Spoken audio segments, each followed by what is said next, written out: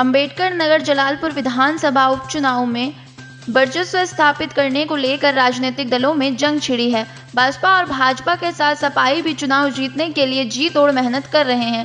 Party प्रत्याशी के प्रचार में पहुँचे सपा नेता धर्मेंद्र यादव ने भाजपा और प्रशासन पर हमले बोलते हुए कहा कि प्रशासन के लोग जनता के साथ न्याय करें।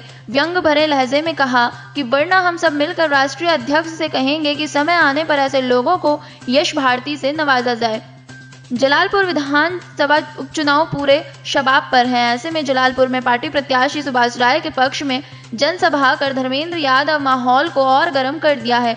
जनसभा को संबोधित करते हुए धर्मेंद्र यादव ने कहा कि प्रशासन के लोगों को जनता के साथ न्याय करना चाहिए। नहीं तो हम सब मिलकर राष्ट्रीय अध्यक्ष से कहेंगे कि समय आने ऐसे लोगों को यश भारती दिया जाए।